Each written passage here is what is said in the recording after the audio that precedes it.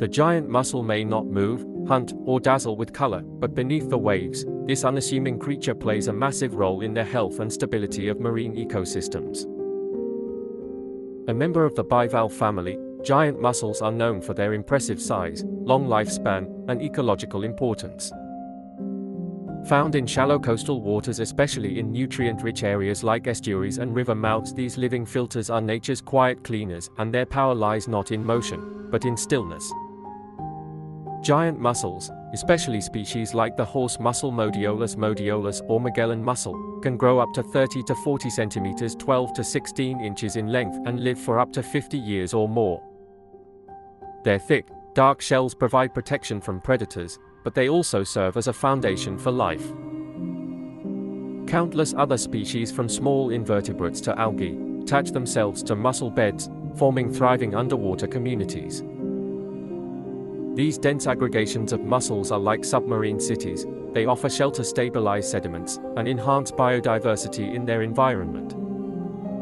In fact, researchers often refer to mussel beds as ecosystem engineers because they modify and improve the habitat around them. One of the most incredible features of the giant mussel is its ability to filter massive amounts of water.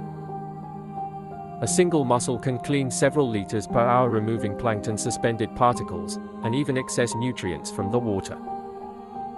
Multiply that by thousands in a mussel bed and you get a living breathing filtration system that keeps coastal waters clearer and healthier.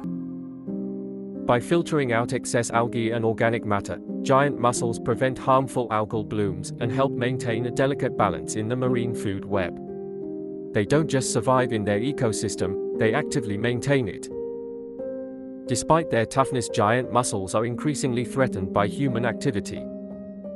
Bottom trawling, pollution, coastal development, and ocean acidification have put mussel beds in danger around the world.